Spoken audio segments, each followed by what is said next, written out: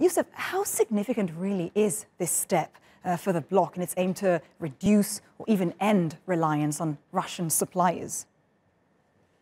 Uh, well, thanks uh, for having me. Well, I guess that's what should have been happening. In fact, the EU, one of the weaknesses in the EU energy uh, sector is that there is no unified energy policy. And that's what has actually made the transition um, a lot slower because we have very much divided energy policy across the European Union, whether it's in Germany and France and Netherlands or Switzerland. And I, get, I think this is uh, the first steps towards making the energy sector in the EU far more resilient than what we have seen before. Now, when it comes to the uh, the uh, unifying the the policy or having the, the, mm-hmm. the purchases or the imports as a block, I think here we there are something like 2 million barrels of oil that comes from Russia. And on top of that, there are between 2 to 3 million barrels that comes as petroleum products, also mainly that comes from Russia. Now, if we have alternative suppliers like Qatar or the US, or I think here there, there would be a far more uh, let's say, a more smoother transition toward reducing dependence on Russian supplies, given the tragedy what's happening now in Ukraine.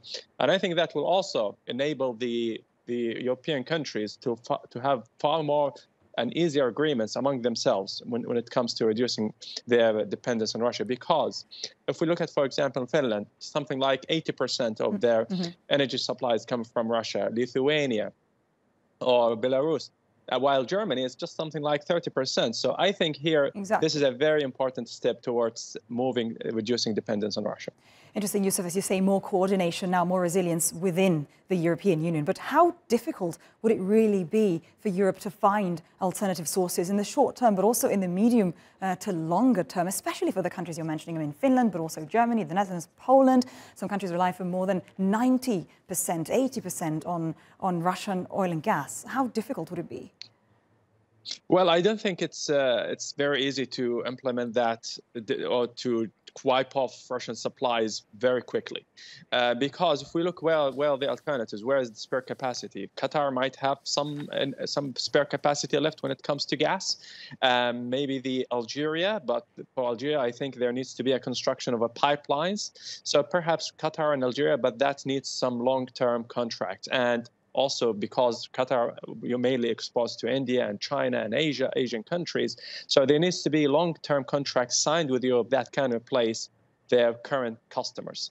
And that, so this is some what if we talk about Russia. Then we also have Algeria that needs the infrastructure. Um, then that's in, terms of gas, but in terms of oil, I think this is the trickiest part because very limited spare capacity left, and that's mainly contained in Saudi Arabia and the Gulf countries. Mm-hmm. One trick part, one tricky part here is that the Russian oil isn't easily replaced by every, any supplier. You need, and European refineries are very much configured to process Russian oil. That is kind of that kind of oil that is medium density that gives you far more diesel compared mm-hmm. to alternative crude. So in a brief and bottom line, the U.S. cannot replace Russian oil. So you need Saudi Arabia or Middle Eastern oil. Perhaps they would think about Iran or other alternative oil coming from the Middle East, perhaps even Venezuela.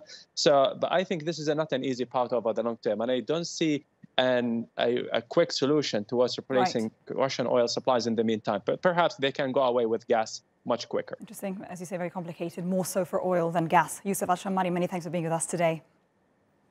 Always a pleasure.